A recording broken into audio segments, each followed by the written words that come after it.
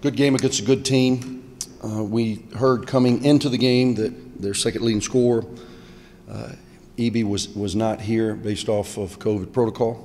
Changed the way that they played, changed their lineups, really changed a lot of the things. To their credit, though, they do what they always do. Rice is 10 and 4 coming into tonight.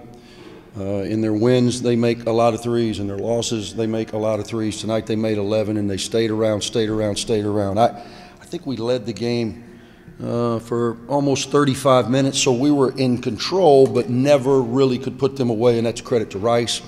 Uh, tremendous. Uh, I think I think Scott's doing a great job with his team, and they hung around. But our guys in the second half finally settled in. Defensively, We'd been pretty solid, turning them over early.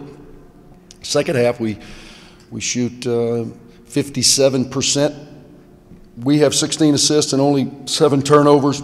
We got a number of guys in double figures. Mike Ertel with his blazer high, 21 points on his 22nd birthday. So, how appropriate.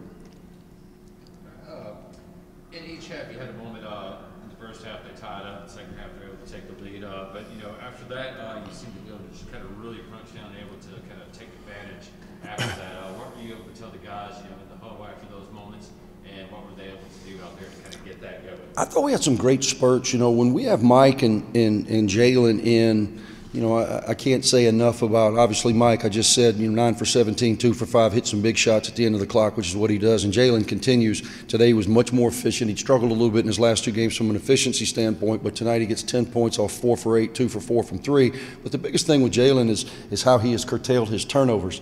You know, last year he was at about two a game. Right now, I think he's got 10 through our first uh, 13 games. Tonight, five assists and no turnovers. So when he's in the open floor, it allows us to get out and try to create some floor, some some scores uh, against a broken defense. I thought Tavin, we moved him to the four. It obviously was not Kassim's best night, so we, we moved Tavin to that four spot, and I thought it, it, him off the bounce, he was really impressive with some finishes in the second half. So really pleased with the way we played offensively in the second half. Defensively, again, we had it at 12, 14, couldn't quite finish it, but uh, a quality win against a quality team. You uh, had Quan Jackson back in this game uh, first time since uh, you know end of November midway. Five, it'll be five weeks tomorrow. Uh, so I mean, really kind of sets that tone defensively, just out there making you know making plays with his hands, just you know grabbing, touching, all that kind of stuff. Just how important was that getting him back in there and kind of setting this defensive tone whenever they were able to make these runs and get back? Well, he, he's huge for us, and you could tell he was rusty. The timing of basketball you can't replicate. We've got an outstanding training staff, great strength coach, and they have been working with him. And early this week, he passed his strength test where he's at 100%. He's wearing that brace as a precautionary reason based on the injury, and we don't want to you know, take any chances of, of him uh, sustaining something similar. So he's going to wear the brace for a while. His strength level is good, but you could tell he was bobbling balls. The ball seemed like it was eating him up. Uh, he was really, really anxious offensively. Uh, it made me anxious uh, with his anxiousness. Uh, so. Uh, he settled down, I thought, in the second half. Hit a huge three for us in the corner and then followed it up with a, with a pull up from the free throw line. The thing that stands out to me, uh, Evan, as you, as you see, played 16 minutes. Was trying to limit his minutes again because it has been a while. I don't want him to be sore. I don't want him to, to be irritated. Uh, but he plays 16 minutes and gets seven big rebounds, which ties Tyreek for the team lead. So his presence is invaluable to us.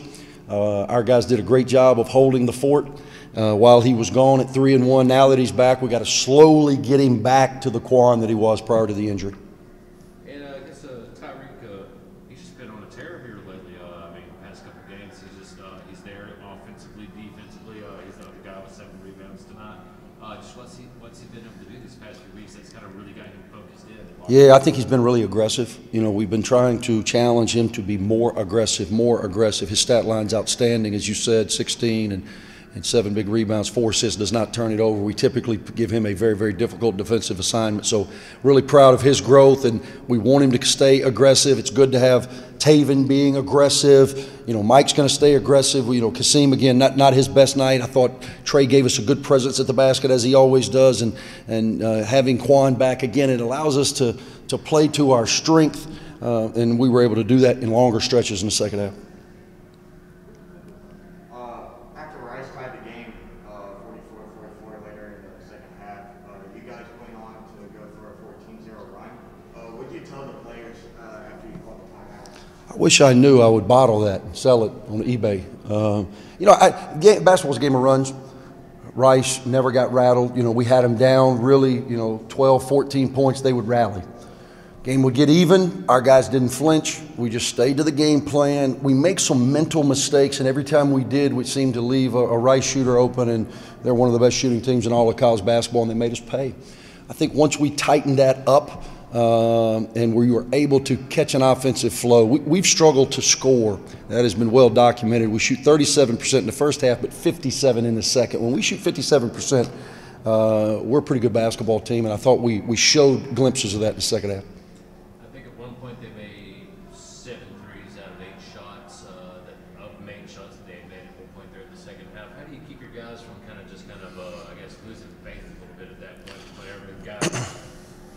Yeah, and, and it was a number of guys. You know, one of their best three-point shooters is not even here. They had a number of different guys that could make them. They play with extreme confidence, and it's what they do.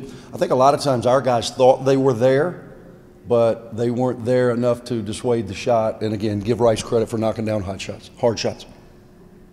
Thank you.